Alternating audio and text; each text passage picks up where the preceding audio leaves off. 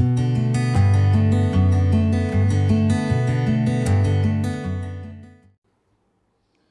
Hello everyone मैं हूँ आशीष पाल और आप सबका स्वागत है मेरे YouTube channel the study way में। आज हम देखेंगे सेल से आ, सेल के कुछ महत्वपूर्ण क्वेश्चन और जानेंगे उनके आंसर्स को। तो ये इस सीरीज़ का पार्ट फोर है।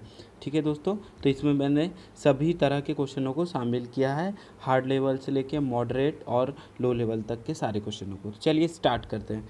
एटीपी पहला क्वेश्चन है एटीपी का निर्माण किसके द्वारा होता है? एटीपी का निर्माण किसके द्वारा होता है? ए टी पी का निर्माण किसके द्वारा होता है? माइटोकॉन्ड्रिया पर्णहरित राइबोसोम्स या गोल्जी बॉडी ठीक है? तो आंसर होगा माइटोकॉन्ड्रिया माइटोकॉन्ड्रिया जो जो होगा, इसका आंसर है। ठीक है दोस्तों तो एटीपी का निर्माण जो होता है, माइटोकॉन्ड्रिया में होता है, और इसको हम क्या बोलते हैं? पावर हाउस भी बोलते हैं। नेक्स्ट क्वेश्चन है, कोशिका झिल्ली किसकी बनी होती है? प्रोटीन एवं लिपिड की प्रोटीन एवं लिपिड एवं कम मात्रा में डीएनए कार्बोहाइड्रेट्स और प्रोटीन और सेल्यूलोज तो आंसर होगा प्रोटीन और लिपिड की। ठीक है? जो प्लाज्मा झिल्ली या कोशिका झिल्ली, हर कोशिका की बाह्य आवरण होता है, जो इसके अंतर्गत जो भी चारों ओर माध्यम से इसको अलग करती है। यह वसा एवं प्रोटीन से बनी होती है और कोशिकीय अंतर वस्तु की सुरक्षा के लिए एक एक भौतिकी रोध प्रदान करती है। ठीक है दोस्तों नेक्स्ट क्वेश्चन है। नेक्स्ट क्वेश्चन है प्रोकैरियोटिक जीवों की में सबसे सूक्ष्म प्रोकैरियोटिक जीव में सबसे सूक्ष्म कोश रचना है। जीवाणु की, विषाणु की राइजोबियम की या माइकोप्लाज्मा की। तो आंसर होगा इसका माइक्रोप्लाज्मा की, ठीक है? फोर्थ नंबर इसका आंसर है माइकोप्लाज्मा की। माइकोप्लाज्मा अभी तक की खोजी गई सबसे छोटी कोशिका है। ऑक्सीजन के भी बिना भी रह सकती है। और इसका जो व्यास होता है पॉइंट वन फाइव से लेके पॉइंट थ्री माइक्रोन तक होता है। नेक्स्ट क्वेश्चन है, जीवन की उत्पत्ति किस काल में हुई? जीवन की उत्पत्ति किस काल में हुई? प्रोटियोरिजिक, मेसोजोइक पैलियोजोइक या प्री कैरबियन तो प्री कैम्बरियन काल में इसकी उत्पत्ति हुई है। नेक्स्ट क्वेश्चन है, कोशिका झिल्ली किसकी बनी होती है? सॉरी, ये हो चुका है।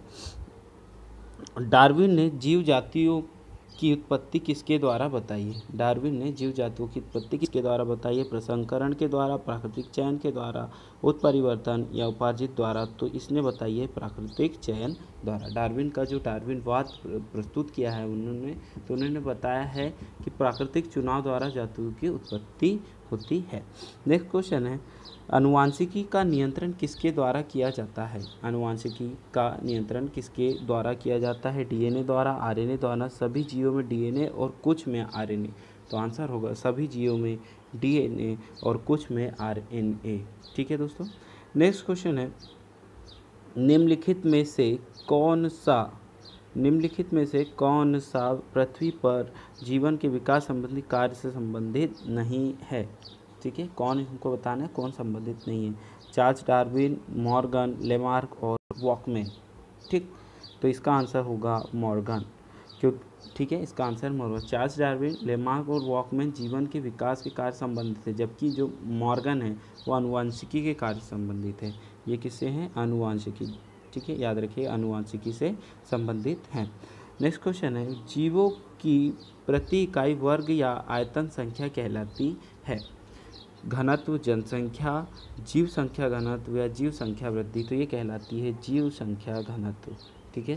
जीव संख्या घनत्व। नेक्स्ट क्वेश्चन है प्री कोशिका में अनुपस्थित होता है। प्री कैरियोटिक कोशिका में क्या अनुपस्थित होता है? कोशिका भित्ति, प्लाज्मा भित्ति केंद्रकीय भित्ति या रसधानी? तो आंसर होगा केंद्रकीय भित्ति।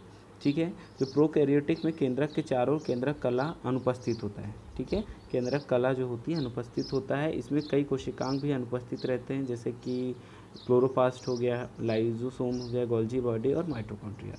ठीक। नेक्स्ट क्वेश्चन है।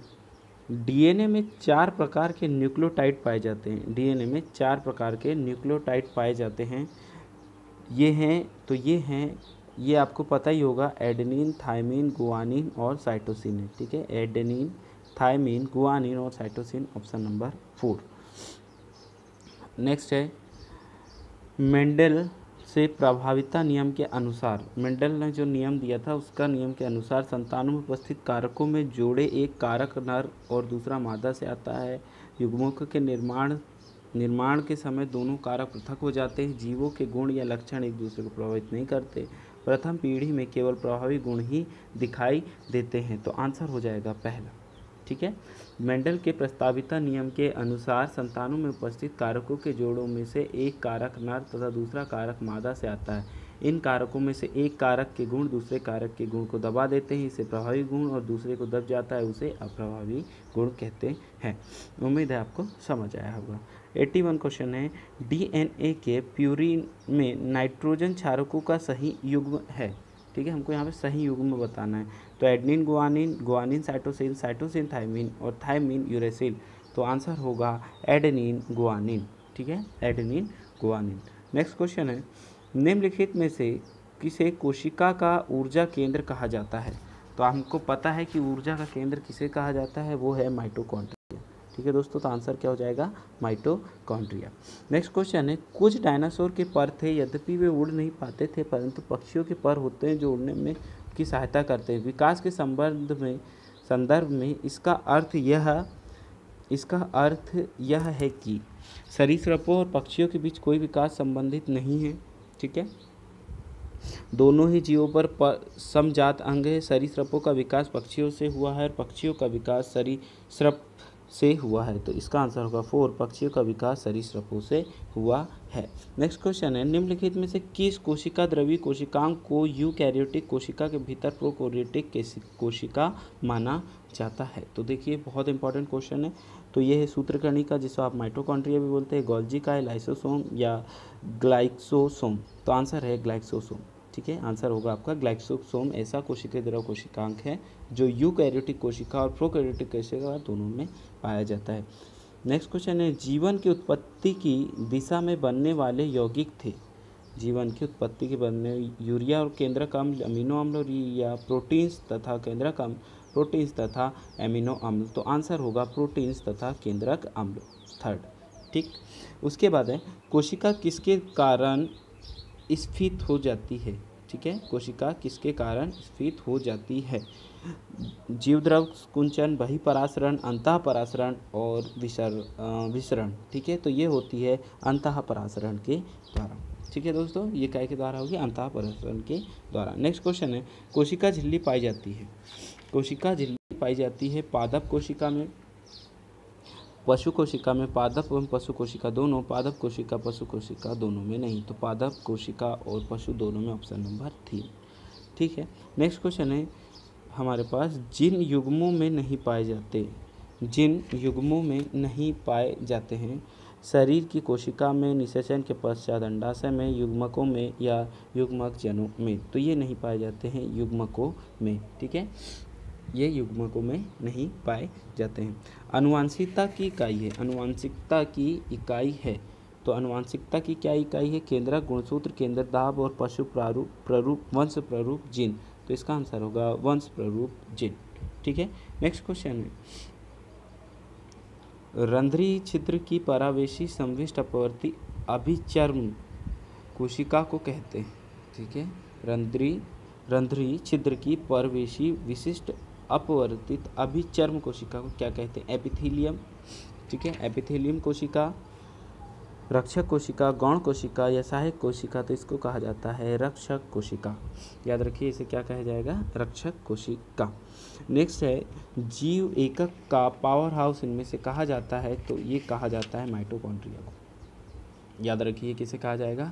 माइटोकॉन्ड्रिया को। ये बार बार आता है दोस्तों तो आपको ये याद रख लेना इसके बाद है जीवाणु कोशिका नहीं होती। जी सॉरी जीवाणविक कोशिका नहीं होती है। ठीक है?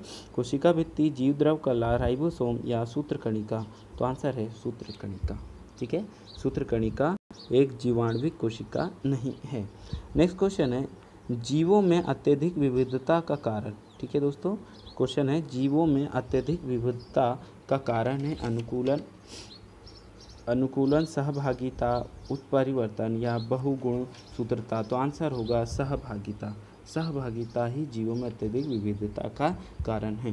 तो दोस्तों, ये थे कुछ इंपॉर्टेंट क्वेश्चन और उनके आंसर। अगर आपको ये वीडियो पसंद आया हो प्लीज़ लाइक करें सब्सक्राइब करें। आपका वीडियो देखने के लिए धन्यवाद। जय हिंद। वंदे मातरम।